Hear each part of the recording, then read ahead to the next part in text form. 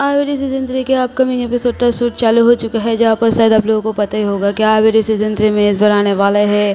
Super dancer chapter four के case मतलब इस बार होने वाला है तीन का तड़का तीन का धर्म का सो गए सुपर डांसर चैप्टर फोर के केस तो आ भी चुके हैं और रिहर्सल भी हो चुके हैं। और वो लोग पहुँच भी चुके हैं परफॉर्मेंस देने के लिए। गाइस आप लोग कितना एक्साइटेड हो? यहाँ पर आप लोगों को मैं दिखा रहा हूँ, जो शूट डेट चल रहा है, वही आप लोगों को दिखा रहा है। थोड़ा सा छोटा सा करके एक वीडियो आप लोगों को कैसा लगा इस कमेंट करके ज़रूर बताना। और आई वीडियो सीज़न थ्री का फेवरेट कॉन्टेस्टेंट आप लोगों का कौन है? अगर प्लीज़ वो भी बताना। बस अभी के लिए इतना ही। Thanks for watching